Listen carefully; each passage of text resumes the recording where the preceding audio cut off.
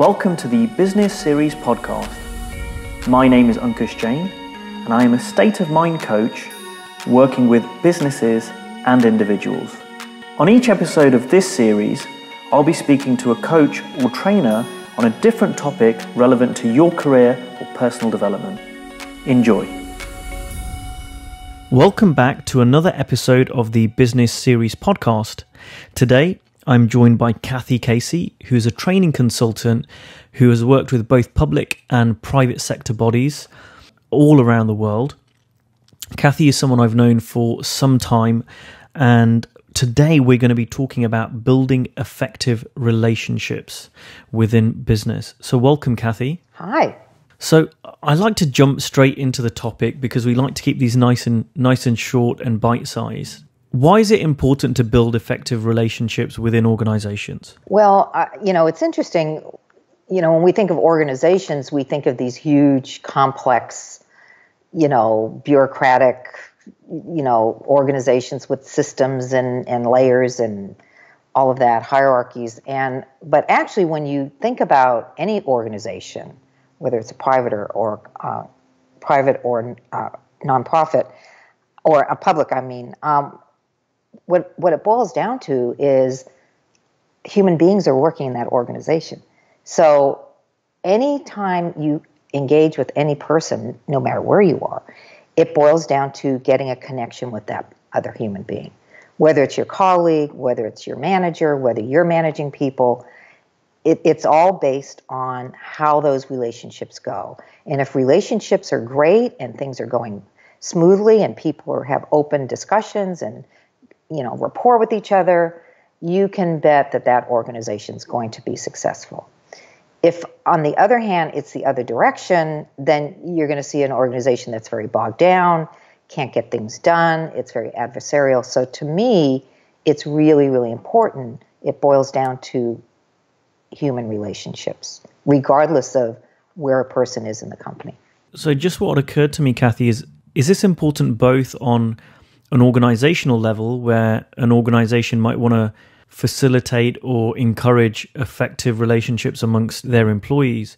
But it's also important, would you say, on an individual level, if I'm working within an organization and I want to do well in my career, or even just maybe I'm not ambitious, maybe I just want to get get stuff done in my current role. It's also important on an individual level that the the more effective I am at building those relationships, the more effective I will be at my at my job. Absolutely, and and where I see the wear and tear when and working with people within organization is the amount of I would say energy people have at looking at what's wrong with other people, looking at you know difficult people, or or trying to work around them, or trying to you know get them to perform, or or avoiding them. I mean, it it every organization I've ever worked in, this is the biggest problem.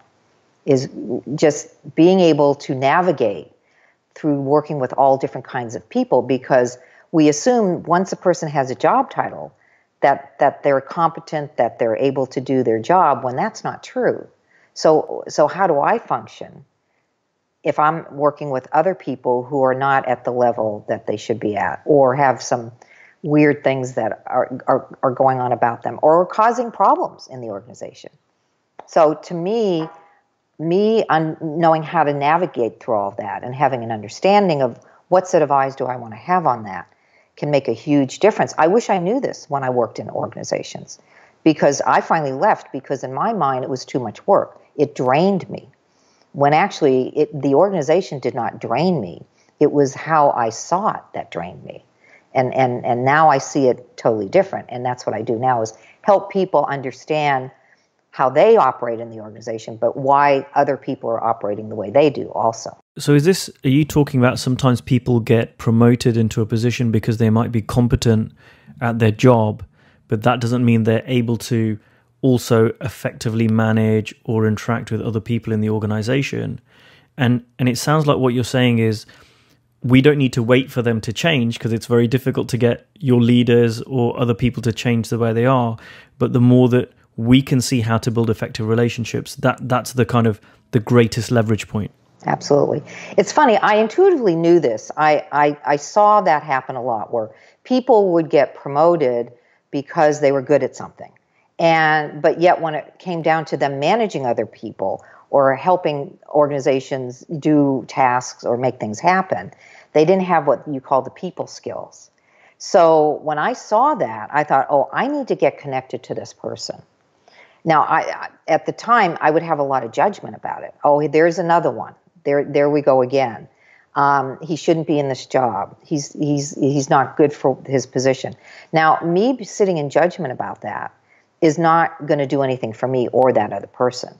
So now I look at a person who's innocently been promoted and and not allowed to even say, you know, I don't know how to do this. I mean, there's a lot of pressure on people. So my job is to get a, get an understanding of them in general and get that connection. And you cannot, I cannot express enough the power of having a connection with anybody. The, the lowest functioning employee is all the way up to the highest functioning employee or, or person in a company. My connection to them is where my impact and power comes from. Is this about just putting yourself in someone else's shoes? I mean, how how do we build effective relationships? Is it as simple as that, or is it, is there something more to it? Okay, it's a combination of both.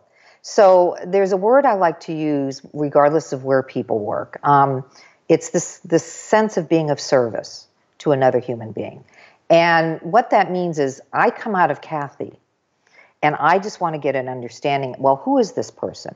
How do how do they see their world? How do they see what they're doing? that I may totally disagree with. So my job is to get an understanding of that. Now, that doesn't mean I agree with it. But if I'm trying to hold, say, an employee accountable who's not performing their job, I want to find out, well, wh- why is that? Now, that doesn't mean I get into their whole history or, or and all that, you know, I'm not a social worker, but I still want to get, well, what's what's going on within them that's making it difficult for them to produce? And let me tell you, most people don't even bother to check in. They may just try to, you know, tell them longer and louder and and, and, and try to say more of the same thing over and over again, and the person keeps bouncing back. So my job is what's going on within that person. And then then kind of helping them realize that, you know, and, and whatever makes sense to me in the moment. So, you know, I, I know a lot of managers in this big defense company who people get promoted because of their technical skills, but yet they can't deliver on deadlines for their team. Well, that boss needs to find out well, what's holding that up? But see, we don't see that as part of our job description. Talking about this intangible piece, meaning where is the person's state of mind? Are they listening? Are they with you? Or are they zooming in their head about anything else but being present with you? So there's an there's a piece that we don't consider and when we engage with other human beings and that's are they with me listening present with me am I present with them or is my mind going a million miles a minute about oh this person is driving me crazy I, I'm tired of saying the same thing over and over again or whatever thinking I'm going to have and then they're in their thinking and so the connection's not going to happen so it takes me coming out of me to get a hit off well what's up here and then I take, you know, then I decide what I'm going to do about that. See, that's part of being a boss or even a colleague.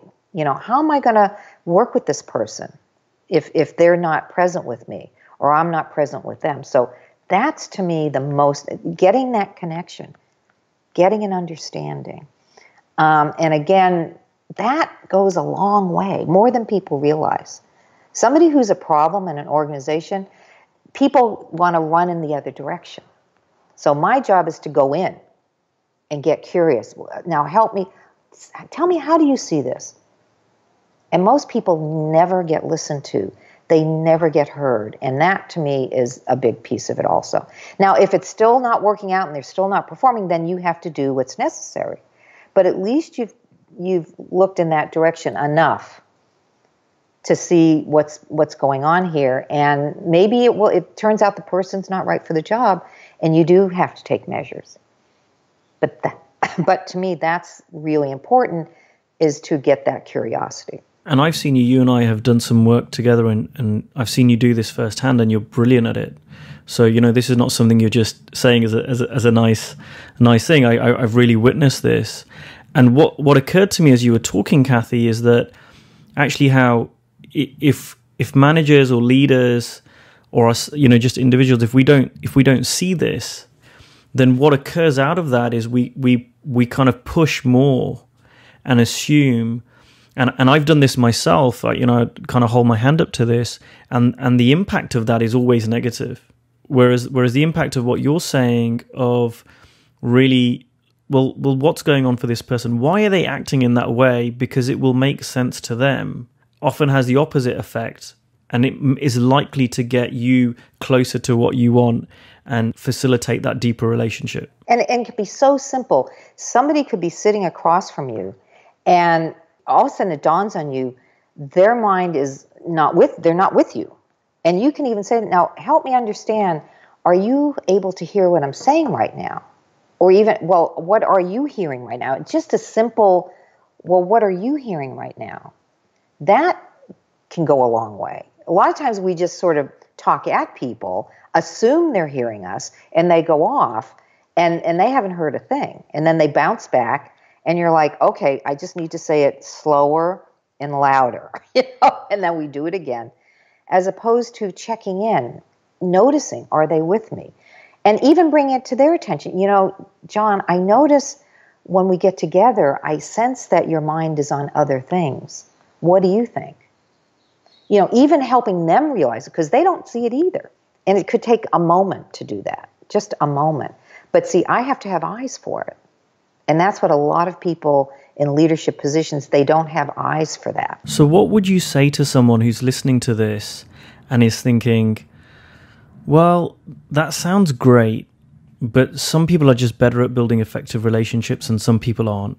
And I've tried to put myself in other people's shoes, I've tried to listen, and, you know, it's nice in theory. I wish I could do it, but that's just not how I am. Mm-hmm.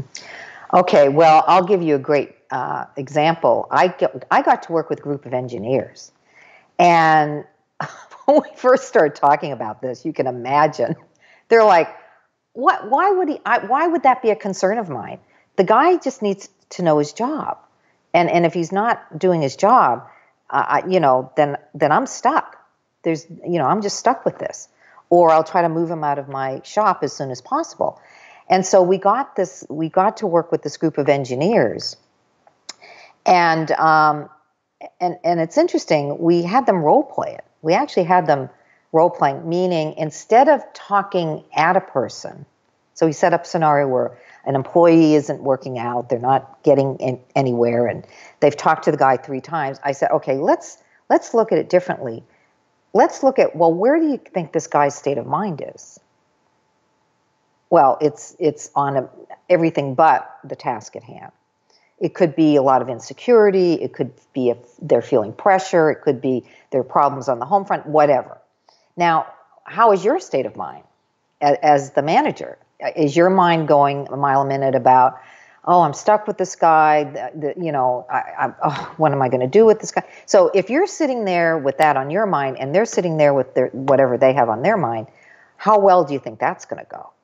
See, so when the engineers got a sense of that, I said, when there's noise in the system, then then things aren't going to click. They're not going to run smoothly.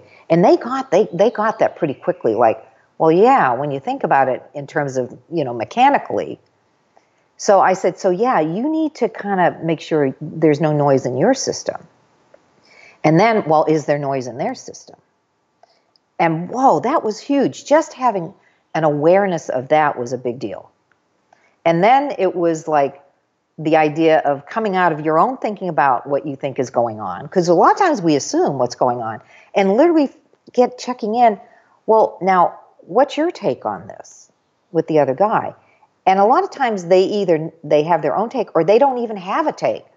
Well, I'm not sure. And that tells you a lot. Like they don't even know what they're doing or what they're thinking. So that flushing that out is huge. To me, that's what's been holding everything up. And so when I say have a set of eyes, I mean getting a sense of am I present? and and is the other person present if if the other person isn't present then then my job is to somehow help them get present with me either bringing it to their attention or me seeing that and then helping them understand that maybe that's the problem but the invisible piece is never addressed in management there are a lot of techniques which can be very helpful there are a lot of ideas, but this piece to me is the foundation for everything else. Do you have a case study where you've maybe worked with a with an organization and you've helped them build better relationships with each other and, and what what the kind of the impact of that has been? Mm-hmm, mm-hmm. Well, it's it's sort of like that. Um, I, I came up with an example, a, a, a situation that I was involved in where I had to engage with a very difficult person. Okay, somebody who is like really difficult. Um, I became friends, well, colleagues, with a woman who was in charge of uh, all of. She was the head of the union for professional people in this huge county government where I live. It, it's a big deal position. She's like a, a labor boss, but not blue collar, but white collar and we just had a relationship. You know, we would get together for coffee, whatever. She heard me speak somewhere. She liked what I said, but we we, we just talked about life. You know, there's no agenda. Well, one day she got a call. Apparently, the director of nursing in this huge public hospital where I reside, one of their top nurse managers committed suicide. Well loved, well liked, and she committed suicide. And so the entire organization was just freaking out. And um, so she, the the head of the professional organization, recommended me to this director. She, she said, "I think Cathy Casey could be helpful."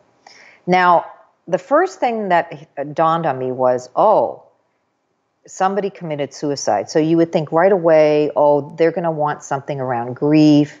Or they're going to want something around, you know, depression. You know, I, that you could easily go in with kind of a preconceived idea of what's needed.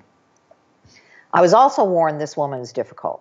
She came up through the ranks. She was an emergency room nurse. She, she's from New York. Tough cookie. She's had to work in a men's world.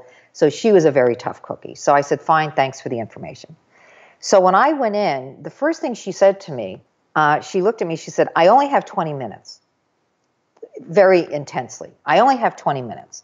And I said, no problem no problem. So, um, so it, please let me know. Tell me what is it that's going on.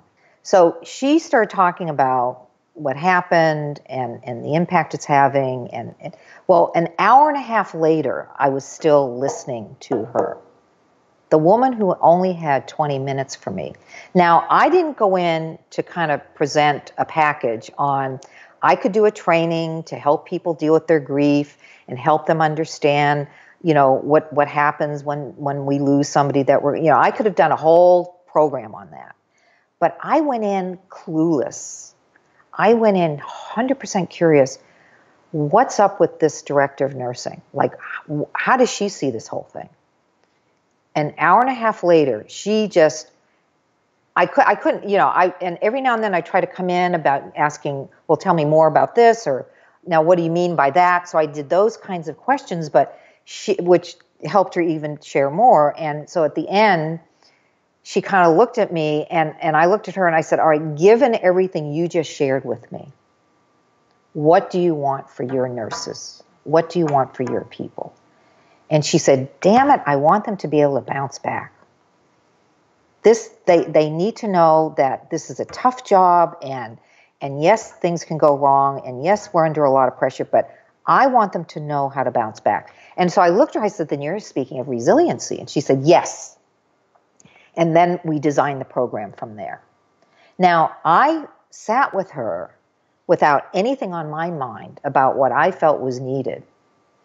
And I wanted, and she told me all this stuff, which nobody ever spent that much time with her and just got present with her. People, when I came out of the meeting, her office people looked at me like, how did that happen? Nobody gets that much time with her. See, what happened was when I walked in, I felt her, her intensity. I felt it. So I knew I had to go in the opposite direction, like super present, meaning, okay, let let's what's what's up here in front of me? What's what's up with this person? And I had to forget everything I had heard of how difficult she was, and I had to get that connection with her, and she felt it. That's why she kept talking. That's why she kept sharing. And believe me, I think even she was surprised at the end because she looked, she's, oh my heavens, uh, my heavens, I'm behind. Uh, you know, even she was surprised because there was no sense of time. So to me, that's what it takes. If you want to get any kind of impact or leverage with another human being, the first thing you have to do is get outside of you. You know, literally clear clear the decks. Just you're in you, you don't know. You're like going into a whole new culture. You're like an anthropologist. Okay, now wh- why why is this person seeing it this way? Oh, how, that's interesting. They eat their food from eh, you know in these leaves, uh, and they and they have a special ceremony about how they do this. Now, why is that? See, if we went to another culture, we would be very curious. Now, why are they doing that? As opposed to, oh well man that that's not that's not cool we don't do it that way at home why would they why are they doing it that way this is the way they should do it why would they waste all that time when they could have gotten through this? See if you're listening to somebody through the lens of your own thinking you will not get them. You will not understand them. And they won't feel you either. So to me this is the secret. This is my secret. Me knowing this has allowed me to work in more environments than most people do. From you know prisons to corporations to you know governmental programs to defense programs to sci- scientific organizations because I know what it takes to make that connection. This is a really fascinating example because eh, I'm I'm listening to you and I'm thinking you know, if if I was listening to this and I'm working in a large organization, there might be someone that I know in that organization, whether it's someone I report to, whether it's a senior leader, whether it's someone who works for me, where I've already got an opinion of them based on my experience. But what I'm hearing from you is that if you go into every interaction, every conversation with your existing judgments and opinions and beliefs about someone, you're you're going to end up with a self-fulfilling prophecy. And the only way to get past that and get to a more effective, a, a deeper, a, a more useful relationship with another person is to drop all of that like you dropped it with this lady. It's absolutely necessary. Again, if you want to be of service to that person. One last quick example I, I, I'm working with a married couple, but my job was to work with the wife. And it came out that the husband had been doing all these bad things. I won't even get into all the horrific things. And so when I got the call from her, and I had been working with her a little bit, and then she tells me all the stuff that came out when they were working with another therapist as a couple, and I heard all this stuff, my first thought was get the best lawyer you can get and take him for every dime he has. That was my first thought, you know, as a woman. You know, I, I, I couldn't help it. I, I absolutely was beyond upset hearing what she shared with me. But then, right after that went through my mind, I realized if I was going to be of service to her, I, this is not about Cathy and Cathy's beliefs. I needed to get an understanding and help her get clear within her own mind what she wants to do, not what I think she should do. And I'll be honest with you, in all the work that I've done over the years, this was the most challenging for me because it really, you know, you know how you say uh, walk your talk. you know what I mean? I really had to walk my talk. It was an opportunity every time I worked with this woman to to clear to see. Okay, clear that, Cathy. This is not about you. This is about her. And I am so grateful for that for that experience because she did get connected to herself, and she's this amazing grounded person and she's still in the relationship because of her culture, um, where divorce is not allowed. And but she's now a fully functional, happy human being, and and the and the and the husband is changing also. So that was a beautiful example of me seeing how much of my personal thinking that was going to be of no use to her and that I had to realize that. And if I couldn't get past it, I would have to refer her out. Seriously, if I could not get past my own thinking about it and really be neutral enough to work with her, I would not, it, it wouldn't be ethical for me to continue. So, what's the one takeaway you'd like people to leave this episode with? I, I think the, the biggest takeaway is to, to get a sense of where you are, meaning, I'm not telling people they have to be neutral or that they have to be present to to you know to to get a connection, to have impact and have leverage. But I want people to start to become aware of the fact of how much we aren't there. And and and just appreciate how much we have in our minds about people we work with or even people within our own families. Just start to appreciate that. Just seeing that it's even there to me is 98% of it. Sometimes I have no idea how much thinking I have on on a situation or another person until I'm in reaction, until I can feel, you know, a tightness or or I can feel, you know, this urgency or pressure. Y- you know, just just see that and appreciate that wow, am I too much in my head about this? And and and there's you can't make yourself come out of that like with this woman I told you about. I couldn't make myself not have those feelings I had about uh, you know, in my mind, how horrible he was as a husband. But ultimately, I knew that that was just my my that's just Cathy. And if I really wanted to be of service to another to her, then then that's what it would take. And to me, that's what we're here for, whether in more coaching mode or therapist or a manager or just being a part of a family. We're here to be of service, to connect to others and to me, that's the, the most important thing. So don't be hard on yourself. We're all human and we're going to, it's inevitable, we're going to think certain ways. But if we could just get a, just a tiny sense that that piece might be getting in the way of the connection. Thank you so much for your time today. If someone's listening to this and they want to connect with you or find out more about the work you do in organizations, what's the best way to get hold of you?